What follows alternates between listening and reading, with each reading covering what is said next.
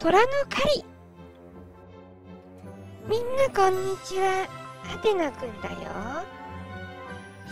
虎ってどんな生活をしているんだろう。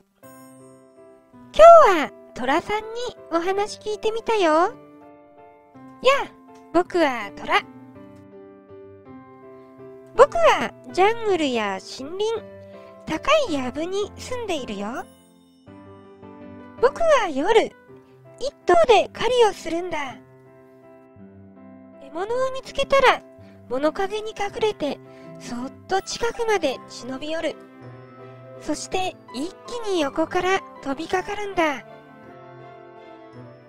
強い前足と肩でしっかり獲物を捕らえて喉に噛みつく。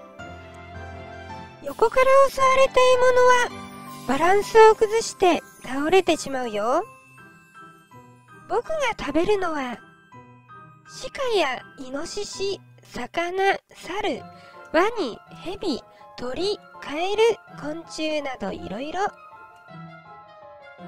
ゾウやサイの子供を食べることもあるよ。でも狩りがうまくいくのは10回に1回といったところ。なかなか難しいよ。今日も見てくれてありがとう。チャンネル登録して君も生き物博士になってね。じゃあねバイバーイ。